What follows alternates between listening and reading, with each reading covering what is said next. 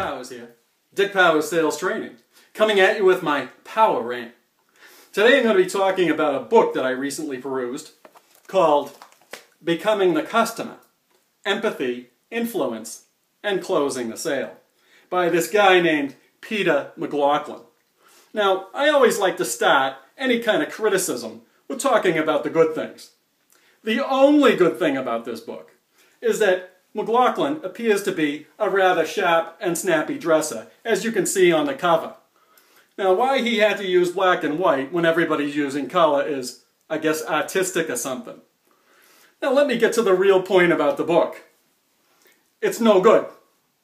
You're not going to want to waste your time, and certainly not going to waste your money. I mean, for starters, any book that talks about customer and empathy in the cover has got it all wrong.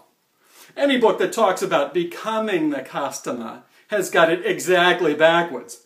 You want them to become you, not the other way around.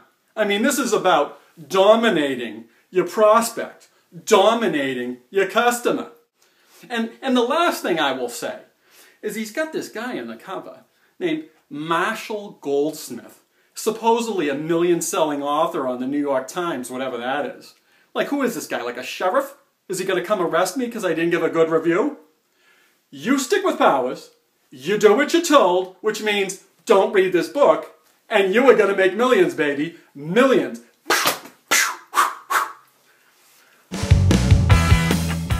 You don't know sales until you know Dick.